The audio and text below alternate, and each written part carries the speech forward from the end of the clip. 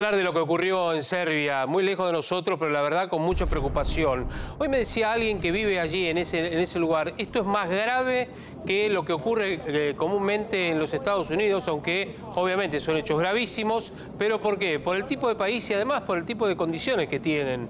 Eh, un joven de 14 años que ingresó justamente en este instituto educativo y mató a nueve a nueve personas. El tirador tiene, reitero, 14 años.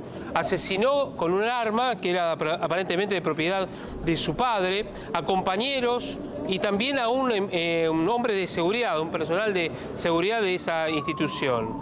Eh, esto ocurrió en Belgrado, reiteramos, dejó varios heridos como consecuencia del ataque, eh, fue detenido en el patio de la escuela, justamente de Vladislav Rivnikar, que es el nombre justamente de la institución.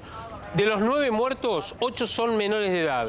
El noveno, como decíamos, es el vigilante del colegio. Seis alumnos y una docente fueron atendidos en dos hospitales justamente de Belgrado. Eh, todavía están internadas en ese, en ese lugar. Hasta el momento se desconocen los. Eh,